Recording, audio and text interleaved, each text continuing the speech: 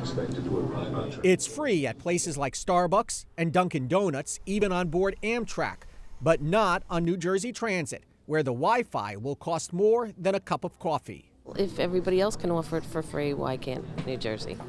According to NJT's website, Wi Fi is available at more than 100 stations now, but it's not free unless you're a Cablevision customer, which sells the service under the brand name Optimum.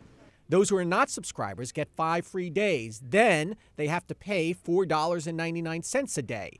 At the Metropark station, many riders chose to use their own data plans, then fork over any money.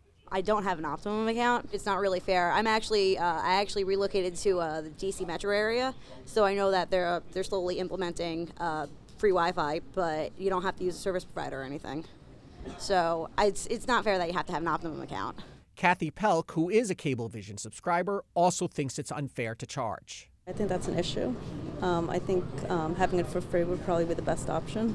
There may not be many free rides in life, but that's not the case for Wi Fi. A growing list of transit systems are providing free internet access for their customers. Those include New York City's subways, where Wi Fi is available and free, and internet access is free on the transit systems in Boston, Miami, and Chicago. Americans have seemingly come to expect free Wi Fi. I mean, Wi Fi, I can go into Dunkin' Donuts and it's free. You know what I mean? So why NJ Transit's much bigger than Dunkin' Donuts, and they're charging people to get on Wi-Fi. I just think it's silly. Cablevision picked up all the costs for installing the Wi Fi and pays to maintain it as part of a 20 year contract. The company also decides what to charge, and none of the fare goes for the Wi Fi system.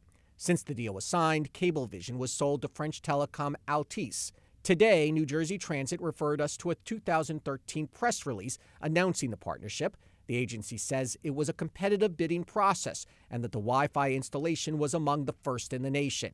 But some riders now wonder why, with so many so called free Wi Fi options, a train ticket isn't enough to get them on the information highway. In Iselin, Andrew Schmertz, NJTV News. We'll be right back.